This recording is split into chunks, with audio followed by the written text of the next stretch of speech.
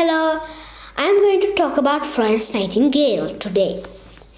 Florence Nightingale was born in Italy on 12th May 1820. She was born to a wealthy English family. Her father helped with her studies, including maths, which are subjects not studied by girls.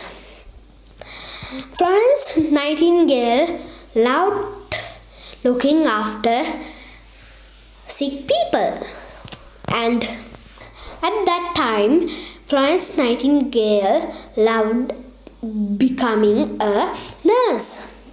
Parents wanted to Florence to marry a rich person, but all she wanted to help other people and care the sick grown up and go to Scutari and that times the war break out.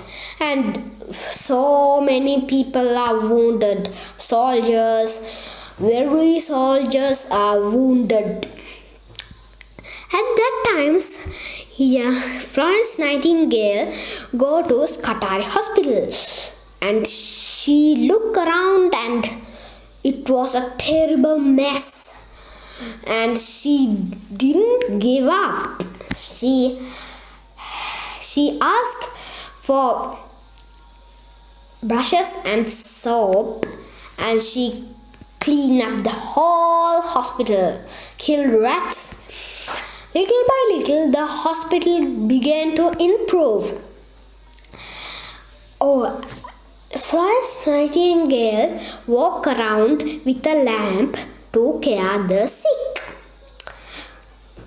She helped sick people and make funny jokes to make feel good. The sick soldiers and the end she she started a nurse school. Bye for today.